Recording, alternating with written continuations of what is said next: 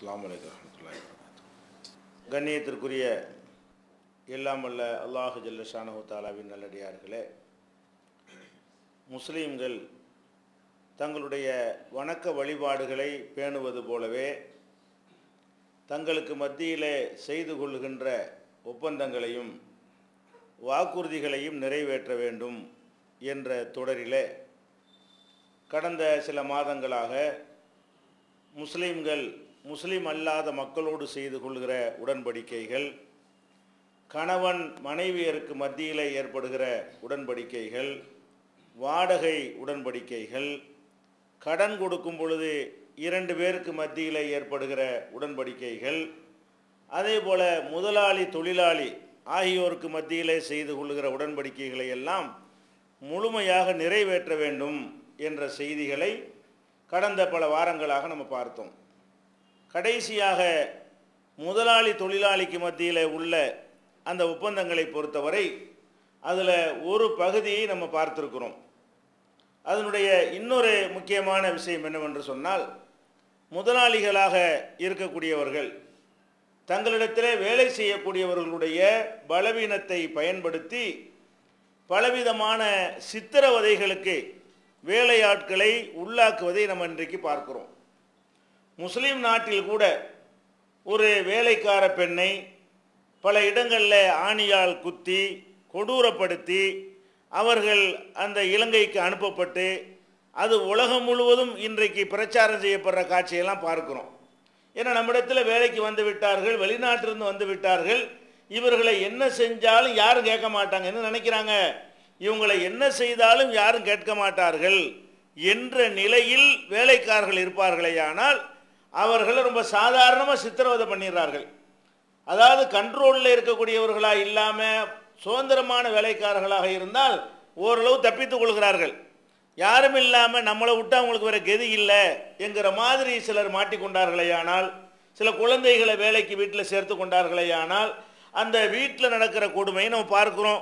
அதே மாதிரி கொத்தடிமைகளாக பிடித்து வேற ஒரு நாட்டில் வேற ஒரு மாநிலத்தில் மொழி தெரியாத பகுதிகளில் கொண்டு போய் கொண்டார்களே ஆனால் இவங்களுக்கு யாரும் குரல் கொடுக்க மாட்டாங்க என்று தெரியும் பொழுது அவங்களுடைய சம்பளத்தில் அணிதிலைக்கிறார்கள் அவங்களுக்கு கொடுக்குற உணவுல அணிதிலைக்கிறார்கள் சாட்டையால் அடிக்கிறார்கள் பல சூடு போடுகிறார்கள்.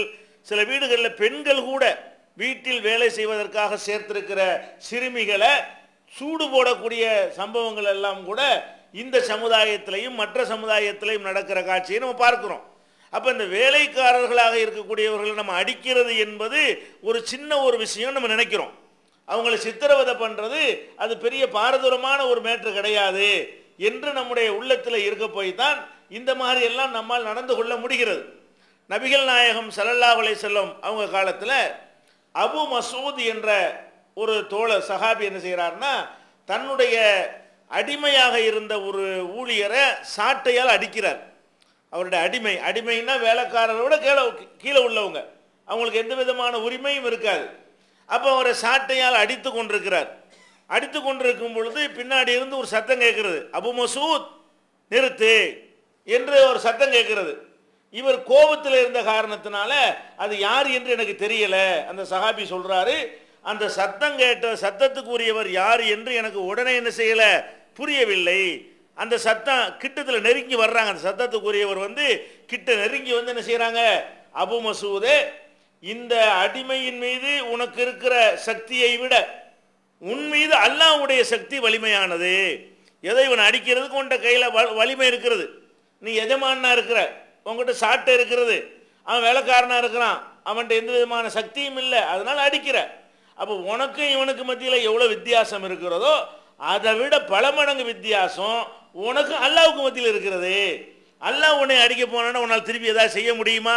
அப்போ உன் மீது அல்லாவுக்கு இதை விட அதிகமாக சக்தி இருக்கிறது என்று அந்த சத்தத்துக்குரியவர் சொன்னார். திரும்பி பார்த்தால் நபிகள் நாயகம் சல்லா அலிசன் நின்று கொண்டிருக்கிறார்கள். அப்போ நபிசல்லா ஒரு ஆள் அடிக்கிறத பார்த்துட்டு என்ன சொல்கிறாங்க நீங்கள் அடிக்கிறதுக்கு என்ன காரணம்? உங்கள்கிட்ட வலிமை இருக்குங்கிறது காரணமாக இருக்கிறது. இவன்கிட்ட வலிமை இல்லை என்பது அது காரணமாக இருக்கிறது. அப்போ அவங்களுடைய பலவீனத்தை பயன்படுத்தி கொண்டு நீங்கள் வேலையாட்களை அடிப்பீர்களே ஆனால் நீங்கள் என்ன நினைக்கணும்? ஆகா நம்ம செய்கிறது பயங்கரமான பாரதூரமான ஒரு விஷயம். இதுக்காக வேண்டி அல்லாஹ் நிப்பாட்டி என்ன செய்வான் நீ யாருன்னு காட்டினீங்கள? இப்போ நான் யாருன்னு காட்டணும்ல? இப்போ நீங்கள் என்ன செய்கிறீங்க அது வேலைக்காரனுக்கு வந்து நீங்கள் யாருன்னு காட்ட போகிறீங்க உங்களுடைய சக்தியை உங்களுடைய பலத்தை உங்களுடைய வலிமையை அந்த வேலைக்காரன் மீது நீ காட்ட நினைத்தீர்களே ஆனால் அல்லாஹ் என்ன செய்வான்? நீ வந்து ஒரு அடியான் மீது அந்த வலிமையை காட்டின மாதிரி இப்போ ஏன் வலிமை என்னன்னு உனக்கு தெரியணுமா இல்லையா? என்று அல்லாஹ் காட்டினால் என்னவாகும்? அப்படின்ற உடனே அவர் விளவெழுத்துறாரு அபு மசூத் அல்லாஹ் அவர்கள் விளவெழுத்து போய் என்ன செய்கிறாரு அல்லாவுடைய தூதர் நான் பெரிய தப்பு செஞ்சிட்டேன். இந்த அல்லாஹ்வுக்காக வேண்டி இந்த அடிமையை இப்பவே நான் விடுதலை செஞ்சிடுறேன். ஒரு அடிமையை போட்டு அடிச்சு விட்டேன் சித்திரவதை பண்ணிவிட்டேன். இனிமேல் இவர் என்னிடத்தில் அடிமையாக இருக்க வேண்டியதில்லை. அவர் சுதந்திரமாக எங்கே வேண்டாலும் போகலாம். அடிமைனா காசு கொடுத்து விலைக்கு வாங்குறது. லட்சக்கணக்கான ரூபாய்களை கொடுத்து வாங்குவாங்க. அவங்கள விடுதலை செய்கிறது என்பது பெரிய இழப்பு பெரிய நஷ்டம். அந்த காலத்தில் அடிமைங்கிற ஒரு முதலீடு மாதிரி. அப்படி இருந்தும் கூட அவர் என்ன செய்கிறாரு?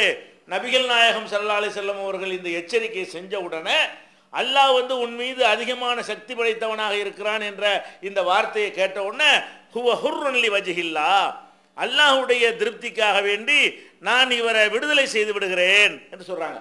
அப்ப நபிகள் நாயகம் செல்லாசலம் அலைஹி சொல்றாங்க லவ்லம் தஃபால் ல மசத் கன்னார் இதை மட்டும் நீ செய்யாமல் இருந்தால் உன்னை நரகம் தீண்டி இருக்கும். சாதாரண விஷயம் இல்லை நீ.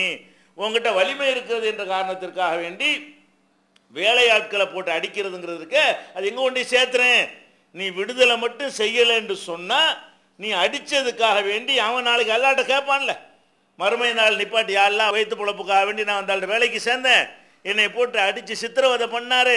வேலையை வாங்கி கொண்டு கூலியை தரலாம். அதை விட்டுட்டு அதுக்கு என்னை கொடுமைப்படுத்தினார் என்று அல்லாஹ் வந்து உன் மீது இப்போ அந்த அடியான் வந்து புகார் செஞ்சால் உன் நிலைமை என்னவாயிரும்? நரகந்தான் உனக்கு தீர்ப்பாகிவிடும். நல்ல வேலைக்கு விடுதலை செய்து அதுக்கு பரிகாரம் தேடிக்கொண்டா என்று நபிகள் நாயகம் சரலாலு என்ன செய்கிறாங்க சொல்கிறாங்க இது சஹி முஸ்லீமில் இடம்பெற்றிருக்கக்கூடிய ஆதாரப்பூர்வமான செய்தி. அப்போ நம்ம என்ன செய்யணும்? நம்மிடத்தில் வேலைக்கு யாராவது இருப்பார்களே ஆனால் குறிப்பாக திக்கற்றவர்கள் இருப்பார்களே ஆனால் சுதந்திரமாக இருக்கக்கூடியவர்கள் நம்ம கை வைக்க முடியாது. அண்ணனை கூட்டிகிட்டு வந்து தம்பியை ஊரே கூட்டி விடுவான் சில பேர். வேலைக்காரன் மேலே கை வச்சியல்னு சொன்னால் அவன் கொடி பிடிச்சி யூனியன்லாம் வச்சுருப்பான். அவன்கிட்ட கையை வைக்கவே முடியாது. ஒருத்தன் அடித்தா அந்த தொழில் உள்ள அம்பது பேரும் சேர்ந்துக்கிருவான். அந்த மாதிரியான ஆட்களுக்கு அந்த சுய பாதுகாப்பு இருக்கிறது. ஆனால் வெளியூர்ல இருந்து சென்னைக்கு கூட்டிட்டு வந்துருவாங்க. அவங்க ஊர்ல கிராமத்துல இருந்து ஒரு வேலைக்கு ஒரு பையனை வேலைக்கு ஒரு பொண்ணை கூட்டிட்டு வந்துருவாங்க. நாங்களே எல்லாம் பார்த்து நாங்களே வேலை பார்த்து நாங்களே கல்யாணம் பண்ணி கொடுத்துட்றோம் என்று அழைத்து வந்தால் இந்த குழந்தைக்கு யாரு பாதுகாப்பு? யாருமே பாதுகாப்பு இல்லை. அவங்க தாய் இருந்து வரமாட்டாங்க. இது என்ன பண்ணாலும் யாருக்கும் தெரியாது. இது வெளியே போய் சொல்லவும் முடியாது. இதுக்குன்னு தட்டி கேட்பதற்கு இந்த சென்னையில் யாருமே இருக்க மாட்டார்கள். இந்த மாதிரியான ஒரு பலவீனத்தை பயன்படுத்தி கொண்டு கொடுமைப்படுத்தினால் அவங்களுக்கு என்ன கிடைக்கும்? நரகம் கிடைக்கும். சாதாரண விஷயம் கிடையாது. அது வந்து நரகத்துக்கு தீண்டப்பட்ட நிலைக்கு ஆயிருவாங்க என்று நபிகள் நாயகம் சரலாலசில எச்சரிக்கிறாங்க. அதனால வேலைக்கு நம்ம யாராவது சேர்த்தோம்னு சொன்னால் என்ன வச்சுக்கிறேன்னு வேலைக்கு கூலி அவ்வளோதான் கூலிக்கு வேலை. அவங்கள்ட்ட என்ன வேலை வாங்குறீங்களோ அதுக்குரிய ஊதியத்தை கொடுங்க சாப்பாடை கொடுங்க. அடிக்கிறது என்ன? உங்களுக்கு என்ன ரைட் இருக்கிறது? நீங்கள் யார்? அடிக்கிறதுக்கு நீங்கள் யார்? அவங்கள அடிக்கிறதுக்கு உங்களுக்கு என்ன ரைட் இருக்குது ஒரு ரைட்டும் கிடையாது. பெத்த பிள்ளையா இருந்தா கூட ஒரு கண்டிக்கு இருக்கா அடிக்கலாம். அந்த மாதிரி அடிக்கலாம் வேலைக்காரனை. வேலைக்காரன் அடிக்கிறது வேற மாதிரி. அது சூடு போடுறது சவுக்கால் அடிக்கிறது அந்த மாதிரி எல்லாம் அடிக்கக்கூடிய நிலைமை எல்லாம் என்ன செய்யக்கூடாது? இருக்கவே கூடாது. இது பயங்கரமான பாவம். இதெல்லாம் ஒப்பந்தத்தில் இருக்கிறது.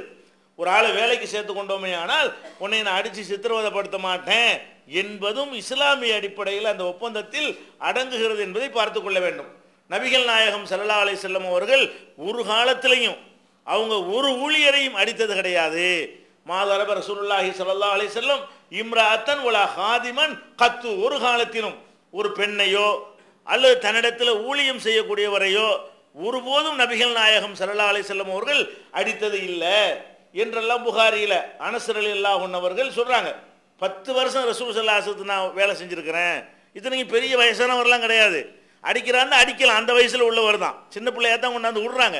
அப்போ சின்ன பையனாக இருந்து ரொம்ப சேட்டையெல்லாம் அவர் பண்ணுவார். ரசூல் சல்லாஹலம் சொன்ன வேலையை பார்க்க விளையாண்டுட்டு இருப்பார் தெருவில் போய்.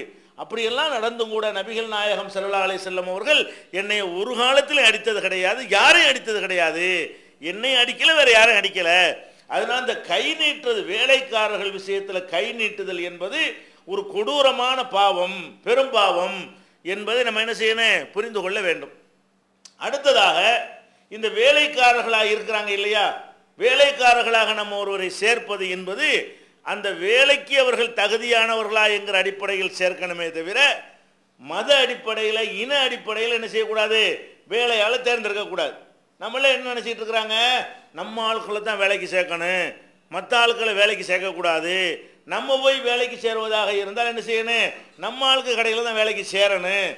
வேலைக்கு சேரக்கூடியவனு நினைக்கிறான்னு கேட்டால் அது நம்முடைய நிறுவனமான்னு பார்க்குறான். என்னமோ இவரோட பாப்பாவுடைய நிறுவனம் மாதிரி. நினைத்து கொண்டு என்ன செய்கிறான் நம்முடைய நிறுவனமான்னு இவன் பார்க்குறான்.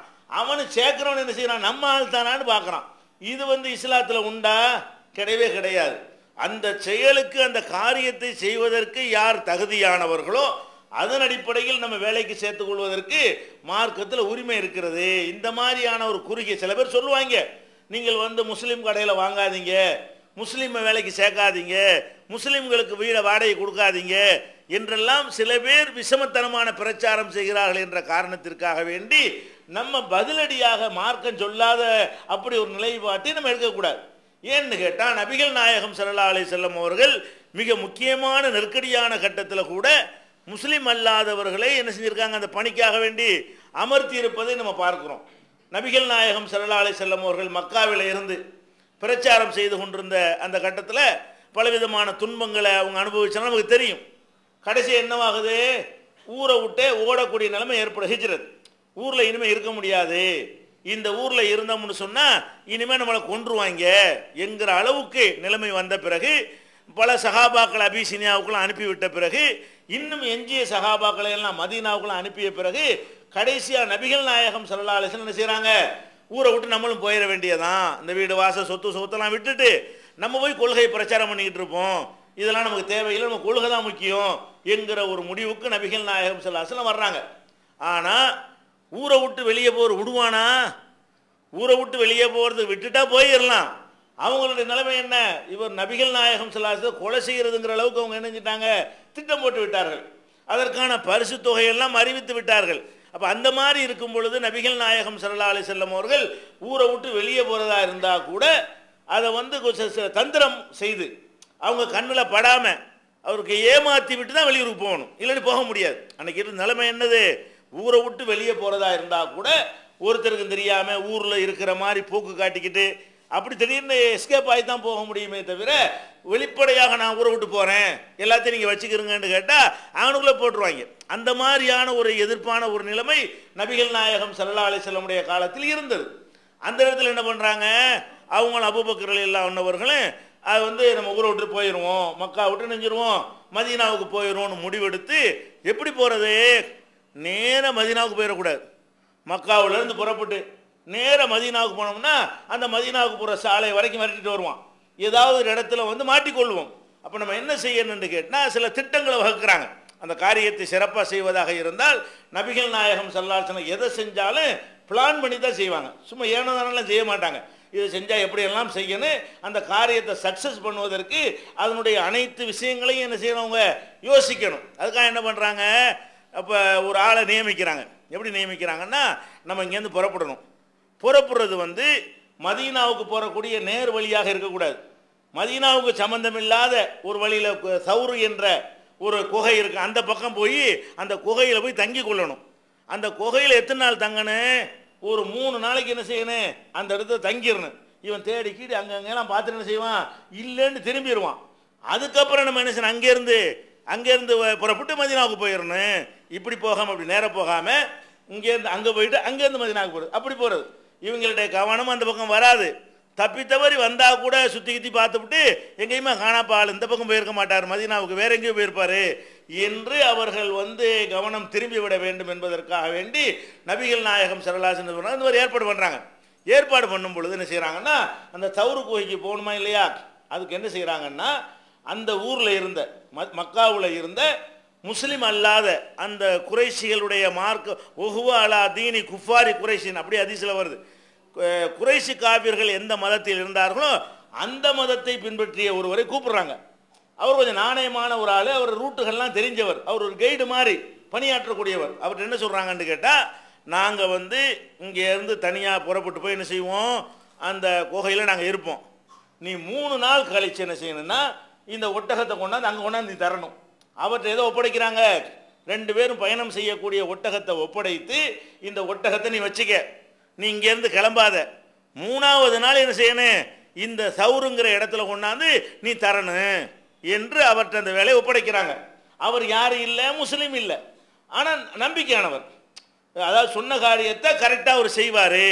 ஏன்னா இவர் மட்டும் கொஞ்சம் ஸ்லிப்பானார்னு வைங்க மொத்த பிளானும் வீணாக போயிடும் ஏன்னா இவர் என்றா ஒட்டை தந்திருக்கிறாங்க. நான் கொண்டே கொடுக்க போகிறேன் எனக்கு பின்னாடி நீங்கள் வாங்க. அந்த இடத்துல வச்சு உரையை அமைக்கப்படலாம் அப்படின்னு சொல்லிட்டாருன்னு வைங்க. ஹிஜரத்தும் இல்லை ஒன்றும் இல்லை திட்டமெல்லாம் ஃபெயிலியர் ஆயிரும். அப்போ நபிகள் நாயகம் செல்லாசன் அவரை தேர்ந்தெடுக்கிறாங்கன்னு கேட்டால் அவர் முஸ்லீம் இல்லைன்னு தெரிகிறது. ஆனால் அந்த ஊரில் இருந்து பழகுன வகையில் ஒரு அந்த ஒரு காரியத்தை எடுத்துக்கொண்டார்கள்னு அதை கரெக்டாக செய்வாங்க. அதில் எதை பார்க்க மாட்டாங்க? மதம் சாதி எல்லாம் பார்க்க மாட்டாங்க. நேர்மையாக இருப்பாங்க என்று சில பேர் சில பேர் இருக்கிறார்கள். மதத்துக்கு அப்பாற்பட்டு நம்ம கொடுத்த டியூட்டியை ஒழுங்காக பார்க்கணும் நேர்மையாக இருக்கணும் நாணயமாக இருக்கணும் என்ற மாதிரியான ஆட்கள் இருக்கிறாங்க. அது உள்ளூர்வாசியாக இருந்த காரணத்தினால நபிகள் நாயகம் சரலா அலிசல்லம் அவர்களுக்கு தெரிகிறது. மதத்தால் அவர் வேறுபட்டு இருக்கிறாரு. இருந்தாலும் இந்த வேலை இவர் செய்வார் என்று சொல்லி ஒட்டகத்தையும் கொடுத்து உள்ள ஏற்பாடுகளையும் செஞ்சு மூணாவது நாள் நீ சவுறு குகைக்கு வந்துருங்கிறாங்க. அதே மாதிரி மூணு நாள் போய் சவுறு குகையில் அவங்க ஒளிந்திருக்கிறார்கள். அப்புறமேல் இவர் என்ன செய்கிறாரு வாகனத்தை கொண்டு போய் அந்த சவுறு குகையில் கரெக்டாக நாணயமாக என்ன செய்கிறார் ஒப்படைக்கிறாரு. அதுக்கப்புறம் ஏறி போகிறாங்க எந்த விதமான டிஸ்டர்பும் இல்லை. அந்த குகையை தேடி வந்து அந்த சம்பவம் நமக்கு அதில் பிரச்சனை. பிரச்சனை என்ன? இந்த ஒரு ரிஸ்கான ஒரு டேஞ்சரான ஒரு ஆபத்தான ஒரு கட்டத்தில் கூட அவர் நம்பிக்கையானவர்னா பயன்படுத்திக் கொள்ளலான்னு இருக்கிறாங்க. இது சாதாரண கடையில் ஆளை வேலைக்கு சேர்க்குற மாதிரி விஷயமா? இல்லை ஒரு கடையில் வேலை சேர்க்கறது உயிர் விஷயம் இது. இது ஒரு டேஞ்சரான ஒரு ஆபத்தான ஒரு விஷயம். இந்த மாதிரி விஷயம் வரும் பொழுது கூட நபிகள் நாயகம் சல்லா அலை செல்லம் அவர்கள் அது முஸ்லீமை தான் நம்ம வைக்குவோம். முஸ்லீம் அல்லாதெல்லாம் நாங்கள் நம்ப முடியாது என்று நடந்தார்களா? அல்லது அந்த அந்த வேலைக்கு அவர் தகுதியானவர்னு பார்த்தார்களா? அந்த மாதிரியான ஒரு பரந்த மனப்பான்மை நமக்கு என்ன செய்யணும்? வேலைக்கு சேர்க்கக்கூடிய நேரத்தில் இந்த மாதிரியான ஒரு மனப்பான்மை வந்துவிடுமையானால் இதுவே ஒரு தாவாவாக இதுவே ஒரு பிரச்சாரமாக என்ன செய்துவிடும்? அமைந்து விடும் என்பதை புரிந்து கொள்ள வேண்டும். இது விடுங்க. இங்கேருந்து மதீனாவுக்கு போயிட்டாங்க. மக்காவில் இருக்கும் பொழுது இவர்கள்லாம் எதிரிகள். அதாவது இணை கற்பிக்கக்கூடியவர்கள் எல்லாமே எதிரிகளாக இருக்கிறாங்க. மதீனாவுக்கு போனால் அங்கே யார் எதிரி? அங்கே யூதர்கள் மெஜாரிட்டியாக இருக்கிறாங்க. நபிகள் நாயகம் சல்லா அலிஸ்லாம் மதீனாவுக்கு போய் நுழையக்கூடிய நேரத்தில் குறைந்த அளவில் தான் முஸ்லீம்கள் இருந்தாங்க.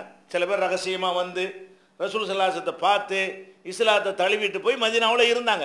அவங்களுடைய பிரச்சாரத்தை கொண்டு ஒரு சின்ன ஒரு கூட்டம் உருவாகி இருந்தது. ஒன்றுமில்லாமலாம் இருக்கலை. ஒரு சின்ன கூட்டம் மதீனாவில் இணைஞ்சு நபிகள் நாயகம் செல்லாசத்தை வரவேற்பதற்காக வேண்டி ஒரு கூட்டத்தை தயார்படுத்தி விட்டு தான் மதீனாவுக்கு போகிறாங்க ஆனால் மெஜாரிட்டியாக இருக்கலை. கூட்டம் சின்னதாக இருந்துச்சே தவிர யூதர்கள் தான் செஞ்சாங்க. அந்த மதீனாவில் பெரும்பான்மையாக இருந்தாங்க. அவங்க நபிகள் நாயகம் சல்லாசலம் வந்த உடனே ஒவ்வொரு நாளும் அவங்களுக்கு மைனஸ் ஆகிட்டே இருக்கிறது மதீனாவில் ஒரு ஆயிரம் பேர் இருந்தாங்கன்னு சொன்னால் நபிகள் நாயகம் செல்லா நூறுன்னு வச்சுக்க ஒரு கணக்கு ஆயிரம் இல்லை புரிஞ்சுக்கிறதுக்காக வேண்டி. ஒரு ஆயிரம் பேர் இருந்தாங்கன்னு சொன்னால் ரசூல் செல்லாசத்து நூறு பேர் இருந்தாங்கன்னு வைங்க. அங்கிட்டு தொள்ளாயிரம் பேர் இருந்திருப்பானா? அங்கேருந்து ஒரு நாளைக்கு ஒன்று ஒன்றா குறையுது. இங்கே நூற்றி ஒன்றாவது அங்கே எண்ணூற்றி தொண்ணூத்தொம்பதா போகுது. இங்கே நூற்றி ரெண்டாவது. இப்படி ஒவ்வொரு நாளைக்கு ஒன்று ரெண்டுமா அந்த பக்கம் கூடிக்கிட்டு அந்த பக்கம் குறையும் போது என்னவாகும்? கோவம் வரும்ல அவங்களுக்கு.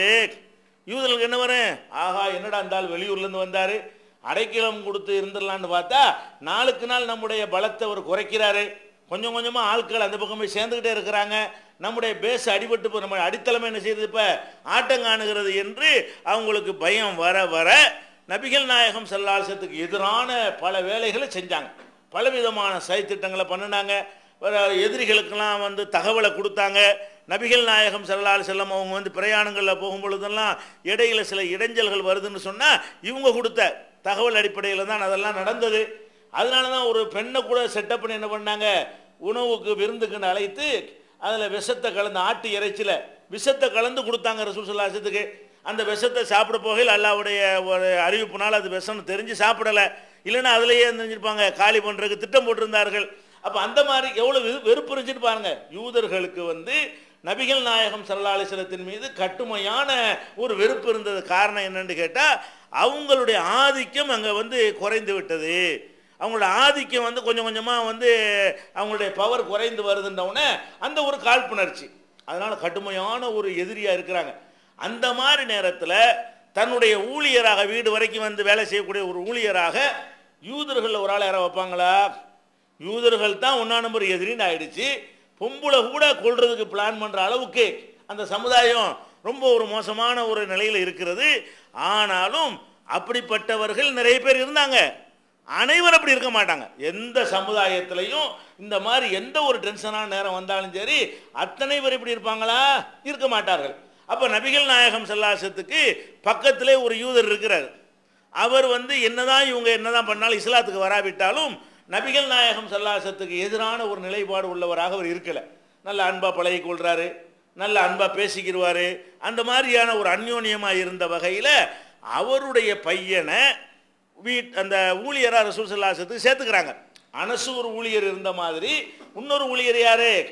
யகூதிய யூதரை சேர்ந்த ஒரு ஊழியரும் ரசூல்லாவுக்கு இருந்தாங்க. அவர் வந்து என்ன செய்வார்? ரசூல் எல்லா வேலைகளையும் பார்த்து கொடுப்பார். அவர் அவர் நினச்சாருன்னா என்ன வேணாலும் செய்யலாம். அதாவது அவரை ஊழியராக சேர்த்துட்டோம்னு சொன்னால் அவரை பயன்படுத்தி நபிகள் நாயகம் செல்லாசுக்கு எதிராக எந்த மாதிரி வேண்டாலும் காய் நகர்த்த முடியுமா முடியாதா? அப்படிப்பட்ட ஒரு பாதுகாப்பற்ற ஒரு நேரத்தில் கூட நபிகள் நாயகம் சரலாலசன் என்ன பண்ணலை? ஆ யூதனை கிட்ட நெருங்காத யூதனை எடுக்கக்கூடாது யூதன் நமக்கு எதிரி அவனை உள்ளே சேர்க்கக்கூடாது என்று சொல்லாமல் பலவிதமான அச்சுறுத்தல் இருந்த நேரத்திலும் கூட அவரை ஊழியராக என்ன செய்கிறாங்க சேர்த்துக்கொள்கிறார்கள் அவ அவரும் ரசுல்லாவுடைய வீடு வரைக்கும் போவார் அந்த அனசும் போவார். போய் ஏதாவது வேலைகள் செஞ்சு கொடுக்கறது என்ன வேலை சொன்னாலும் என்ன செய்கிறது அவங்களுக்கு பணிவிடை செய்கிறதெல்லாம் செய்து கொண்டிருந்தார். அது கூட புகாரில் வருகிறது அந்த பையனுக்கு உடல்நிலை சரியில்லாமல் போய் வந்தோன்னு விசாரிக்கிறதுக்கு போகிறாங்க ரசூல் சல்லாசலாம் ரெண்டு மூணு நாளாக வரலையே பையனை காணாமல் என்னென்னு கேட்டால் உடம்பு சரியில்லை என்றோடனே விசாரிக்க போகிறாங்க விசாரிக்க போனால் அவர் வந்து படுக்கையில் படுத்து கிடக்கிறார். நபிசல்லா ஸல்லல்லாஹு போனவுடனே அந்த தகப்பனார் இருக்கிறார். அந்த பையனுடைய தகப்பனார் யூதர் இருக்கார் இல்லையா? அவரும் இருக்கிறார். அவர்கிட்ட போய் என்ன செய்கிறாங்க இந்த மாதிரி நீ இந்த உடம்பு சரியில்லாமல் இருக்கிற. நீ வந்து அல்லாவை ஏற்றுக்க தௌஹீதை ஏற்றுக்க இஸ்லாத்தை ஏற்றுக்க அப்படின்றத வந்து அறிவுரை பண்ணுறாங்க அந்த பையன் என்ன பண்ணுறாரு அவருக்கு சரின்னு படுது. இருந்தாலும் தகப்பனாரை பார்க்குறாரு இப்படியே. என்ன சொல்ற முகமது சொல்கிறாரு கேட்கவான்னு கேட்குறாரு அப்போ தகப்பனார் என்ன சொல்கிறாருன்னா அத்தி அபுல் காசிம். அபுல் காசிம் சொல்கிறத கேளு. ரசுல்லாக்கு அபுல் காசிம்னு ஒரு பேர். அவங்களுக்கு ஹதிஜா நாயகி மூலமாக காசிம்னு ஒரு மகன் பிறந்து இறந்துட்ட காரணத்தினால அவங்களுக்கு பேர் என்ன? காசிமின் தந்தை. அபுல் காசிம் என்று ரசூல் சல்லா அலிசத்தை அன்றைக்கு உள்ள மக்கள் என்ன செய்வாங்க? அழைக்குவாங்க. ஹதிஜா நாயகி கூட ரசூல் சல்லா அலிஸ்லாம் அவர்களை வந்து அபுல் காசிம் தான் கூப்பிடுவாங்க. அது எல்லாருக்கும் தெரியும். அது அந்த யூதருக்கு கூட தெரிஞ்சிருக்கு பாருங்களேன். அவர் என்ன சொல்கிறாரு அத்தி அபுல் காசிம். அபுல் காசிம் சொல்கிறத கேளு. அப்படின்ற உடனே அந்த பையன் என்ன பண்ணுறாரு களிமா சொல்கிறாரு அப்போ நபிகள் நாயகம் சல்லாஸ் என்ன பண்றாங்கன்னா அல்ஹம்துலில்லா இல்லது அன்காதகும் என்னார் நரகத்திலிருந்து இவரை காப்பாற்றி அல்லாவுக்கு எல்லா புகழும். அவர் களிமாவை சொல்லி இஸ்லாத்தை ஏற்றுக்கொள்கிறார் எதுக்கு இதை சொல்கிறோம் ஒரு யூதராக இருக்கிறாரு.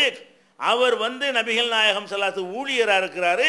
அப்படிப்பட்ட ஒரு நிலையிலையும் ரசூல்லா நம்புகிறாங்க ஒரு முஸ்லீம் அல்லாத ஒருவரை எதிரிகளாக இருக்கிற ஒரு சமுதாயத்தை சேர்ந்த ஒருவரை நம்புகிறாங்க காரணம் என்ன? அதுக்கான ஏமாளித்தனமான நம்பலை. அவ எந்த அளவுக்கு நம்புனாங்கன்னு அதுக்கு தான் நடந்துட்டார் பார்த்தீங்களா இஸ்லாத்தில் ஏற்றுக்கணும்னா அபு அபுல் காசுனா கேளுப்பா அவர் எகுதியாக இருக்கலாம் அவர் எப்படி பழக்கம் வைத்திருந்தார் என்று சொன்னால் முகமது சொன்னா கரெக்டாக தான் சொல்லுவார். என்று அவர் இஸ்லாத்தை ஏற்றுக்கொள்வதற்கு கூட மகனை தடுக்காத அளவுக்கு எதிரி சமுதாயம் ஆனால் அவர் எதிரியா இருக்கல. அவர் எப்படி இருக்காரு? இஸ்லாத்தை போய் தகப்பனாருக்கு முன்னாடி வைத்தே அவருக்கு சொல்லி கொடுக்க முடிகிறது. தகப்பனார என்ன செய்கிறாரு நீ இஸ்லாத்தை ஏற்றுக்க முகமது சொன்னால் கரெக்டாக தான் இருக்கும். என்று சொல்ற அளவுக்கு உள்ள மக்களும் அங்கே இருப்பார்கள்.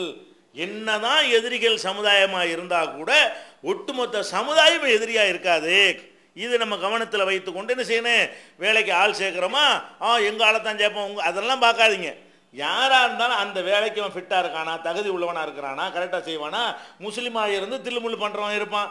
முஸ்லீமாக இல்லாமல் இருந்து நேர்மையாக உள்ளவன் இருப்பான். முஸ்லீமாக இருந்து அந்த காரியத்தை சிறப்பாக செய்கிறவன் சிறப்பாக செய்ய தெரியாதவனாக இருப்பான். முஸ்லீமாக இல்லாத ஒருத்தன் அந்த காரியத்தை சிறப்பாக செய்கிறவனாக இருப்பான். நம்ம டியூட்டி வேலை என்ன செய்யணும்? தகுதியானவனான்னு பார்க்கணுமே தவிர நம்மளை கவுத்தி விடாமல் இருப்பானான்னு பார்க்கணுமே தவிர எதை பார்க்கக்கூடாது நம்மளால தான் வேலைக்கு வைக்குவோம். அப்படிங்கிறதெல்லாம் இஸ்லாத்தில் கிடையாது. அது மாதிரி செய்யலாம். எத்தனையோ இன்னும் சொல்ல போனால் நபிகள் நாயகம் சல்லா அலி செல்லம் அவர்கள் அவங்களுக்கு ஏதாவது கஷ்ட நஷ்டம் வந்துருச்சுன்னு சொன்னால் யூதர்கள்ட்ட போய் அடமானம் வச்சு என்ன செய்வாங்க? அவங்க கடன் வாங்குவாங்க. அதுவே ஒரு வேலைக்கு நம்மள்ட்ட நம்பி கொடுக்குற மாதிரி தானே? நம்ம ஒரு பொருளை கொண்டே கொடுக்குறோம். இல்லைன்னு கூட சொல்லிட்டு போயிடலாம்ல. யூதன்ட்ட போய் ஒரு கோதுமை கடன் வாங்குவதற்காக வேண்டி என்ன செய்கிறாங்க அவங்களுடைய கவசம் கவசம்னா போரில் போடக்கூடிய சங்கிலியால் செஞ்ச ஒரு ட்ரெஸ் இருக்கும். அது வாளுகள் வெட்டினா மேலே படாது. அந்த உருக்கு சட்டைன்னு சொல்லுவாங்க. அந்த உருக்கு சட்டையை நபிசல்லா அலிசல்லம் கொண்டு போய் அடமானமாக யூதர்கிட்ட வைத்து விட்டு கொஞ்சோண்டு கோதுமையை கடனை வாங்கிட்டு வர்றாங்க. அது மீட்காமலே மூத்தா போயிட்டாங்க. அதை மீட்கவே இல்லைன்னு அவர்கிட்ட அடமானமாகவே அடமானம்னா வட்டி கிடையாது. சிலத்தில் வட்டி கிடையாது இல்லையா? அதை வட்டி இல்லாமல் அடமானம் வாங்கக்கூடியவராகவும் இருந்திருக்கிறார். யூதருடைய வேலையை என்ன? வட்டிக்கு தான் அடமானம் பிடிப்பார் அவர். ரசூல் சல்லா சிலம் கேட்ட உடனே வட்டி இல்லாமல் என்ன செய்கிறார் அவர்? நீங்கள் வாங்கிக்கிறங்க நீங்கள் அசலை கொடுத்துட்டு வாங்கிக்கிறங்கிற அளவுக்கு அவ அப்படி நம்பிக்கை ஒன்று இருந்திருக்கிறாங்க. ரசூல் சல்லா அவர்களுக்கு வட்டி இல்லாமல் அடைமானமாக பெற்றுக்கொண்டு அவருக்கு உணவுப் பொருள் கொடுக்குற அளவுக்குள்ள மக்கள்லாம் இருந்திருக்கிறார்கள். எல்லா காலத்திலையும் இருப்பார்கள். எல்லா காலத்திலையும் ஒரு சமுதாயமே எதிரிகளாக என்ன செய்ய மாட்டாங்க? இருக்கவே மாட்டார்கள். அதில் ஒரு எழுபத்தஞ்சு சதவீதம் வீணா போனவங்க இருந்தாலும் ஒரு இருபத்தஞ்சு சதவீதம் நல்லவர்கள் இருப்பார்கள். அல்ல இருபத்தஞ்சு சதவீதம் வீணா போனவங்க இருந்தாலும் ஒரு எழுபத்தஞ்சு சதவீதம் நல்ல மக்கள் இருப்பார்கள். அந்த மாதிரியெல்லாம் இருப்பார்கள்ங்கிற கவனித்து கொண்டு நம்ம நல்லிணக்கத்தை மே மேற்கொண்டோமையானால் அது தாவாவுக்கும் உதவியாக இருக்கும். ரெண்டாவது மார்க்கத்துலேயும் தப்பு கிடையாது. இந்த மாதிரி வந்து நம்ம ஆட்களை வைக்கணுங்கிற மாதிரிலாம் என்ன செய்யக்கூடாது? அது ஒரு சட்டம் இருக்குன்னு நினச்சிடக்கூடாது. இஸ்லாத்தில் அப்படியான ஒரு சட்டம் கிடையாது. அது எப்படி வேண்டாலும் யாரை வேண்டாலும் என்ன செய்யலாம்? வேலைக்கு வைத்துக் கொள்ளலாம். இது போக அந்த வே- ஊழியர்கள் சம்பந்தமாக மேலும் சில செய்திகள் இருக்கின்றன. நான் அல்லாஹ் அடுத்தடுத்து வரணும்